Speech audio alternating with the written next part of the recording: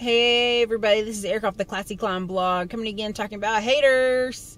Everybody's crying. I got haters. I got haters. They hate on me. Well, guess what? That means you stood for something. Right now, everybody's pissed about the Kentucky woman, you know, standing up against gay marriage, even though her job is to put out marriage license. Listen, you don't agree? I'm sorry. But guess what? She's a walking contradiction. She's been married four times and she's a Democrat. So it's not like they can blame it on her being a Republican. They can blame it on her being anything other than a woman who is taking a stand and getting a lot of haters. Rightfully so. Keep it moving, right? I wouldn't be surprised if woman gets a TV show out of this thing. But look, you need haters because listen, the more people hate on you and they're like, look at that person over there doing whatever she's doing. Guess what happens? More people are like, what is she doing? Hmm, let me see. I've been on Facebook a plenty of times where somebody goes, this is the most terrible video ever. And then you look at it. Why? Because they told you it was the most terrible video ever. Or, you know, people talked bad about Rush Limbaugh for years. And all it did was grow the Rush Limbaugh mania. Sean Hannity, Fox News, people bash Fox News forever. Guess what? All it did is grow every single person personality on Fox News.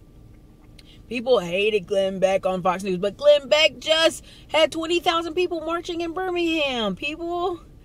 So, yeah, go ahead. Get lots of haters. It doesn't matter if your YouTube's full of negative comments and people hating on you. I've had people say racist things about me. My hair's crazy. Da da da da. And I'm like, dude, get over yourself.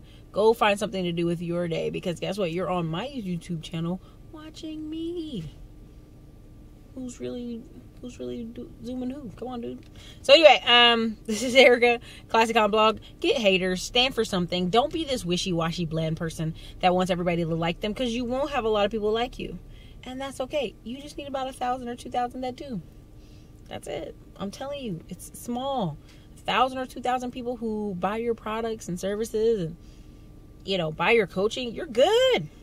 If you got five hundred dollar a month coaching and. You know, a hundred of the people on your list buy it, man, do the math.